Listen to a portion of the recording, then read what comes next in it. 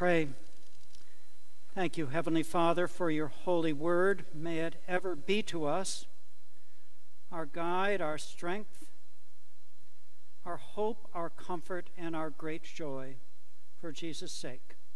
Amen. Please be seated. Uh, this past week, uh, my wife came home one day and said, Peter, I think uh, I've got a light out in the back of my car. Oh, would you check it? And so I went and turned on the lights, and she put the brakes on, and sure enough, one of the uh, lights was out in her car, and we agreed that she would go to Midas tomorrow and get it fixed. And I said, But you mustn't drive at night because you're liable to get pulled over and arrested. Well, wouldn't you know, that night in my dreams, I was the one pulled over and arrested by the police for a light infraction. It just, it wasn't fair at all. And, and speaking of driving, um, I don't know if this is probably isn't true for you, but it is certainly true for me that if I'm driving and someone around me is driving recklessly, or they're speeding, or they do something that endangers me, I will quietly say, Please, Lord, let them be caught and arrested.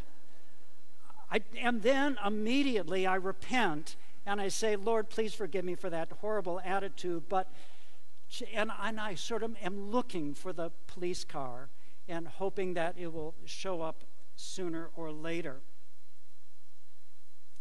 I, you, none of you do that, I know.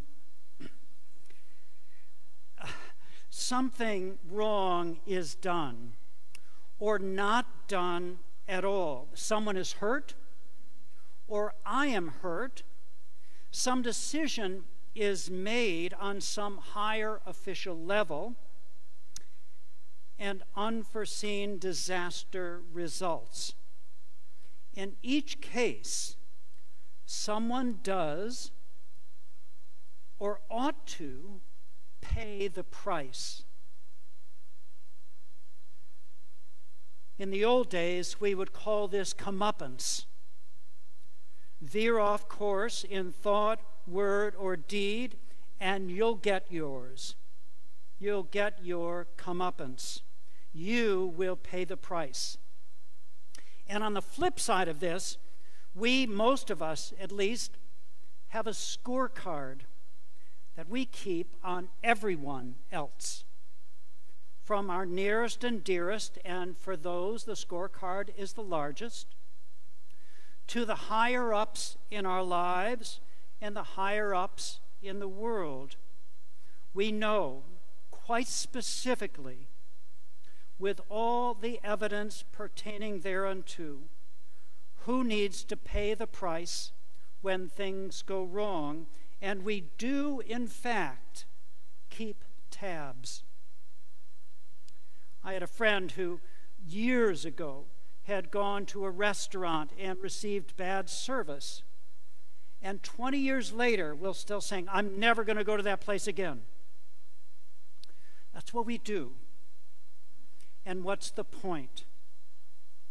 We expend a lot of mental, emotional, and spiritual energy keeping score and waiting for the price to be paid. And this morning, in our gospel reading from St. Mark, we hear these words For the Son of Man came not to be served, but to serve, and to give his life a ransom for many. May I put this plainly? Jesus of Nazareth, Son of God, perfectly obedient to every law known in the whole universe, says that he came to serve by paying the price the price incurred by each and every one of us in so many big and small failures, in so many big and small disobediences, he came to pay that price. So when Thomas Cranmer penned the confession that we use in morning prayer in the mid 1500s, he made it abundantly clear that we have all erred and strayed like lost sheep, following too much the devices and desires of our own hearts, offending against his holy laws, and so on. And there is a price to be paid. So I imagine you notice this price paying language in our reading from Isaiah and in the book of Hebrews. Jesus is the great high priest, our great high priest, upon whom the Lord has laid all of our iniquities. The innocent pays the price for the guilty. Scorekeeping is turned upside down. Comeuppance is redefined.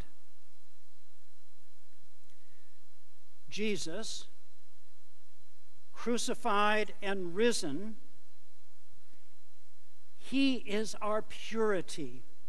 We don't have any of our own.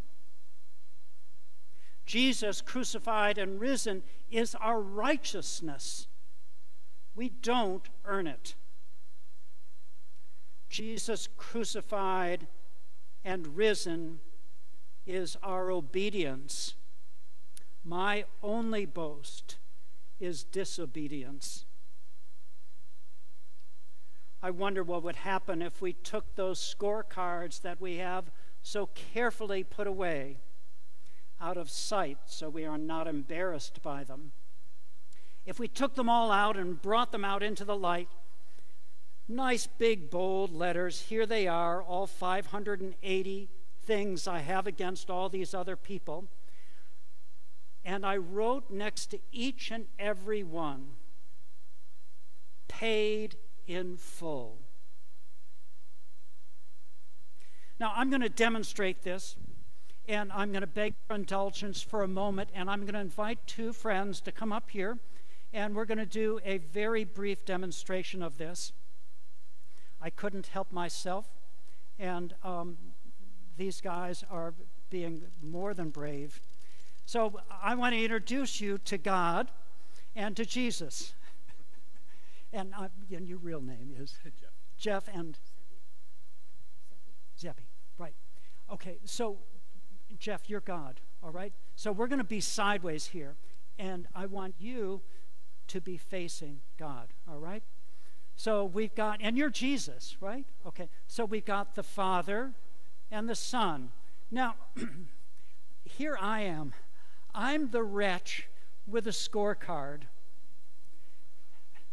and it's very long, I'm afraid. I had to bring an extra coat to put all the different pieces of it. Now, this is actually a pretty easy demonstration. What does God see when He looks at me? Who does God see? He sees His Son, right? He doesn't see me. He sees His Son. And, and I, know the love that you guys have for one another. And I know as you look at your Son, what you see is someone that you love and and you just you're totally caught up in that love and so i'm here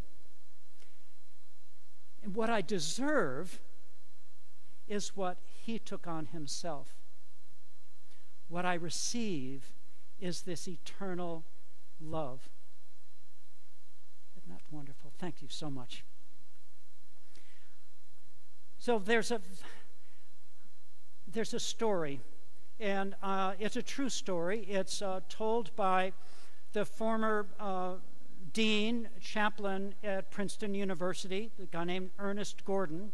He was a, a soldier, a chaplain in World War II and in Southeast Asia, and he was caught up in that uh, really horrible a period of time when the Japanese were, were making these uh, prisoners of war build a railway so they could transport their troops up and down the uh, peninsula there. And there was a river, and it was the River Kwai, and they were uh, building this bridge over the River Kwai. And one day, the, all the, the prisoners were summoned. You must come and stand here, all of you. And the Japanese guard said, There's a shovel missing. Confess it. One of you has stolen a shovel. These soldiers, we, didn't take a shovel, there's no shovel. The, and the Japanese soldier screaming, There's a shovel missing. Somebody stole it. Confess it, or I'm going to kill you all. Nobody moved. They may have done other things wrong that day. They hadn't stolen a shovel. He told them once again confess it, or I'm going to kill you all. And one soldier steps forward and says, I did it. I took the shovel. And without a moment's hesitation, the soldier steps up to this poor guy, and he's dead. He's killed in a minute. This one guy took upon himself this accusation.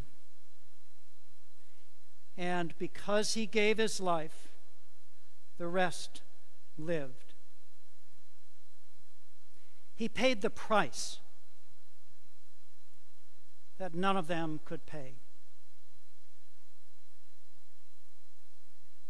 And we're invited this morning to draw near to the throne of grace. And in this Holy Communion, to receive the body and blood of the Son who paid the price for us, that in him we might live.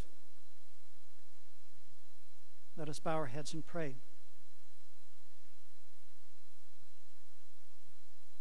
Lord Jesus, we are not worthy.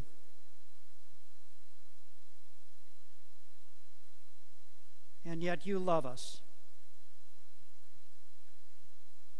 We have disobeyed, and you have been perfectly obedient. May we have the grace to receive your love this day and always for your name's sake. Amen.